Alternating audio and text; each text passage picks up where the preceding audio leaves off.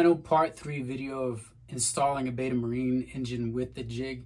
Now you won't actually see the, the engine drop down onto the mounts and that final installation though that, that will come in future videos here. Ultimately, the jig allows us to position exactly where the engine will be and where that aft coupler from the engine is flush with the uh, coupler of the drive shaft. That's what the jig is for. So I've gotten a lot of messages, a lot of requests, emails, everything about this video and, and I know it's long overdue. Have the rest of the, the year looks great to really begin to accelerate a lot of the projects here on the on this Westsail 32. So this video will take a look at a couple of uh, the steps that have led us up to this point and really what you'll see moving forward are the following things and I'll just kind of keep this video very brief.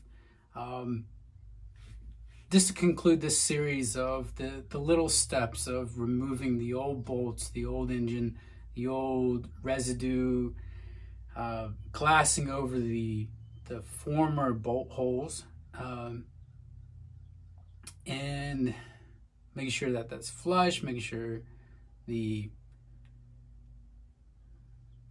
Make sure the bay is prepped and painted. The aft mounts, the aft part of the mounts could not be far enough. So we had to cut away the upper sides of the pan uh, mounting flange so we're able to slide those plates outboard to get the proper spacing. So we had to cut away a little bit of the fiberglass. Our grinder, um, four inch grinder with a metal cutting blade worked well for that. Now these pre-cut long aluminum plates uh, the four engine mounts will set on the plates at the locations of, of our diagram that we have here for the Beta 38. The next step though is once the mounts are located in the correct positions, we're gonna drill 3 8 mounting holes for the long plates. Um, and we'll drill through the fiberglass engine bed. Now these holes, um, are for, these 3 8 holes are for the bolts that will hold down the plates. But here along the side, you'll see that I'm drilling one and a half inch diameter uh, access points to be able to, to feed through um, the washer and nylon lock nuts that will bolt these long plates down. So I did all that work to sand, paint, sand, paint uh, the pan only to, to drill holes into it but uh, the access is, is very limited. It's no way to reach up underneath it to attach the, the nut and washer to the bolts. Uh, but we'll come back through and, and you'll kind of see where we'll just glass back over the, the old holes.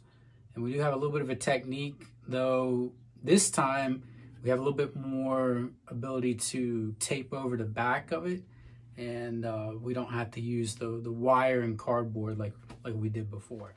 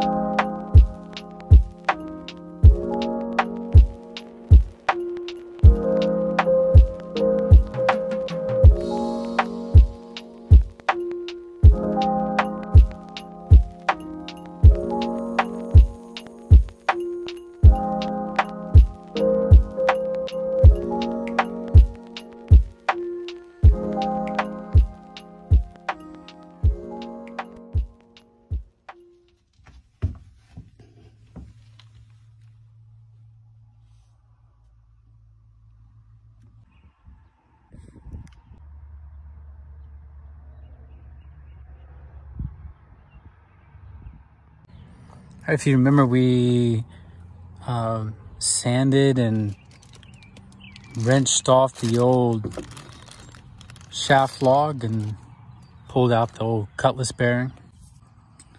So yeah, I know it doesn't look great, but we have the new cutlass bearing, uh, the set screw. Uh, didn't have it pressed all the way in.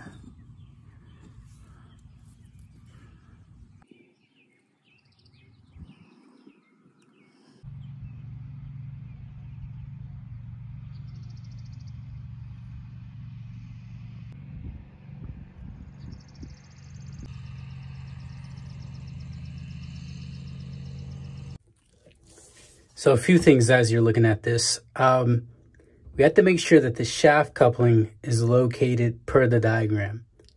The shaft coupling face has to be 23 inches from the inside end of the hole.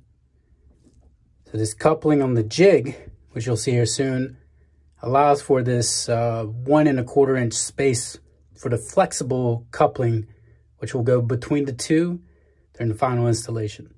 So let's take our measurements and let's uh, get the jig onto the plates.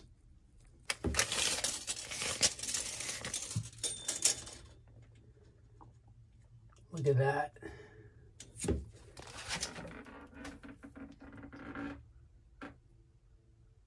Twenty-three inches.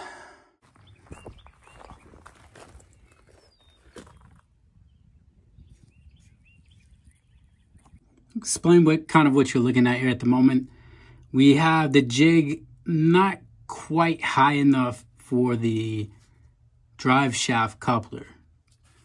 And so we're going to insert spacers below the, the forward uh, mounts of the jig, and that will kind of level off the two couplers, and we'll join them.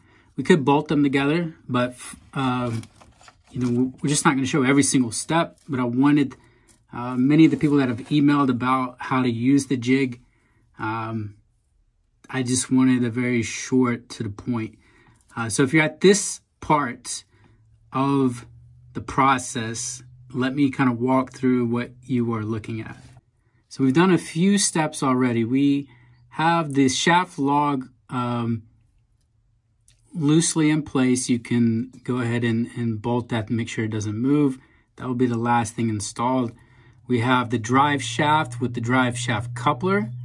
That is precisely 23 inches from the aft part of the west cell of the engine bay here.